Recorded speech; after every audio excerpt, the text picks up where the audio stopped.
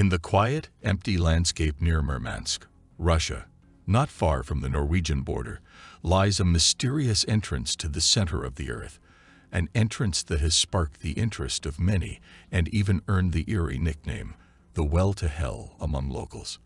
While the idea of a super deep hole may sound like something from a scary movie, the reality is much less frightening, though still amazing. This mysterious pit is the Kola Super Deep Borehole, a project that dug deep into the Earth's depths in search of scientific knowledge. Before your imagination runs wild, it's important to note that this hole is only 9 inches in width, making it impossible for anyone to accidentally fall into its depths. Welcome back to another fascinating docutainment video. So just how deep does this super deep borehole go? It reaches approximately 7.5 miles beneath the Earth's surface, equivalent to about 12,262 meters. Achieving this incredible depth was no small feat, taking nearly two decades of relentless effort. The project initially set an ambitious goal to dig as deep as humanly possible, with researchers aiming for a depth of around 9 miles, approximately 14,500 meters. However, their journey into the Earth's depths encountered an unexpected obstacle in the form of scorching temperatures. At 7.5 miles below the surface, the rocks, formed over a staggering 2.7 billion years, registered temperatures of approximately 180 degrees Celsius, or a blistering 356 degrees Fahrenheit. This was nearly double what scientists had predicted. These extreme temperatures posed significant challenges, causing deformation of the drill bits and pipes used in the project. Even the rocks themselves exhibited a surprising level of malleability at these depths, behaving more like plastic than solid rock, a phenomenon that left the scientists baffled. Despite these hurdles, the project pressed on until 1992, when drilling was finally halted. Approximately a decade later, the project site was abandoned. Nevertheless, the Kola Super Deep Borehole still proudly holds the record as the deepest man-made point on Earth, while humans have since drilled longer boreholes, including a 12,289-meter hole in the Al Shaheen oil field in Qatar and a 12,345-meter offshore oil well near the Russian island of Sakhalin. The Kola borehole remains the deepest of them all. But why do we humans embark on such ambitious drilling endeavors?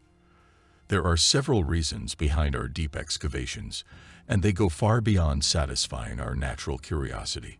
One primary motive is the extraction of valuable resources, such as fossil fuels and metals, which power our industries and fuel our daily lives. Mines like the 100-year-old copper mine near Salt Lake City, Utah, extend three-quarters of a mile deep into the earth. Others, like the Kimberley Diamond Mine in South Africa, reach depths of 215 meters, showcasing the extent of our quest for precious resources. Scientific exploration is another driving force. Some excavations are not about earthly treasures, but rather about unlocking the secrets of the universe. Neutrinos, nearly weightless subatomic particles produced in cosmic events like supernova and gamma-ray bursts, require detectors placed deep underground to shield them from background radiation at the Earth's surface. One remarkable example is the University of Wisconsin's IceCube Neutrino Observatory in Antarctica, which reaches depths of 1.5 miles by melting ice with hot water, a testament to our dedication to scientific discovery. Returning to the Kola Super Deep Borehole, this project was primarily driven by scientific curiosity. Soviet scientists embarked on this ambitious journey to gain a deeper understanding of Earth's outermost layer, the crust, and unravel the mysteries of its formation and evolution. However, there was also an element of competition, reminiscent of the space race, as nations vied for the prestige of reaching the Earth's core. It's worth noting that similar efforts faced challenges and financial constraints, leading to their eventual abandonment. The American Project Mohole, for instance, aimed to drill into the Pacific Ocean floor off the coast of Mexico in 1958 to reach the boundary where the Earth's crust meets the mantle. Unfortunately, It was discontinued in 1966 after reaching a mere 183 meters, which is just a fraction of a mile. In the early 90s, German scientists reached about six miles below the surface in Bavaria, Germany, encountering seismic plates and scorching temperatures of 600 degrees Fahrenheit. Regrettably, due to a lack of funds, that project was also abandoned.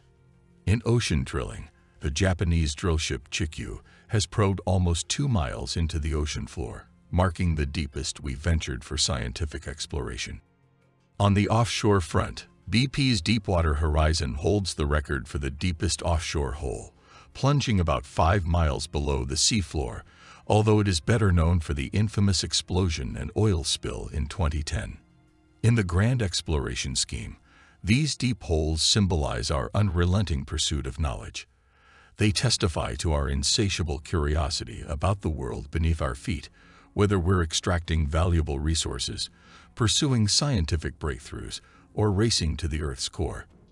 As we peer into the depths of the Kola Superdeep borehole, we are reminded of the indomitable human spirit that propels our relentless journey into the unknown.